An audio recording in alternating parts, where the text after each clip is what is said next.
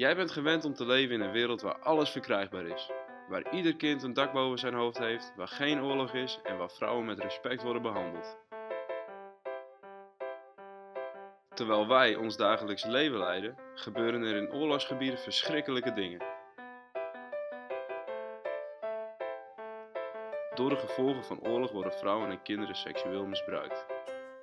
Het Rode Kruis is zich bewust van dit feit en zet zich dit jaar in om de gevolgen tegen te gaan.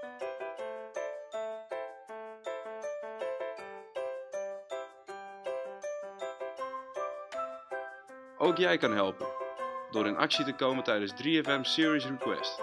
Verzin een unieke actie en zamel zoveel mogelijk geld in.